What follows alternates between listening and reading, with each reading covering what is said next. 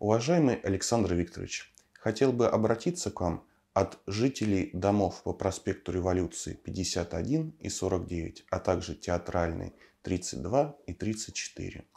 В годовщину 80-летия освобождения Воронежа от немецко-фашистских захватчиков вы присутствовали у памятника погибшим детям, которые погибли в ходе бомбардировки сада пионеров в 1942 году.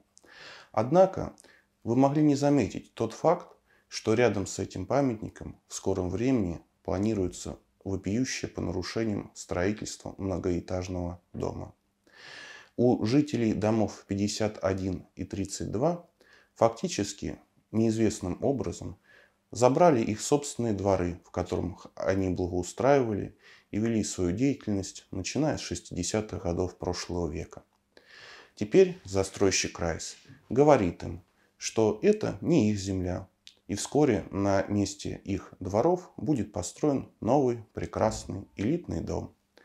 А жильцам же старых домов он предлагает ходить по полоске земли шириной полтора метра и наслаждаться им прекрасным красивым забором.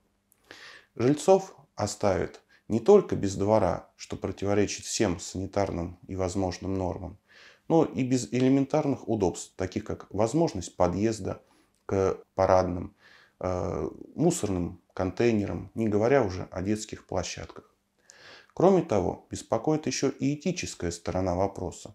Как можно строить на месте сада пионеров, на том самом клочке земли, где погибли дети, о чем, собственно говоря, свидетельствует этот памятник. От имени жильцов очень бы хотелось попросить рассмотреть законность истории передачи этого земельного участка застройщикам, а также возможность возведения на этом месте сквера в памяти о тех трагичных событиях 1942 года. Благодарим вас.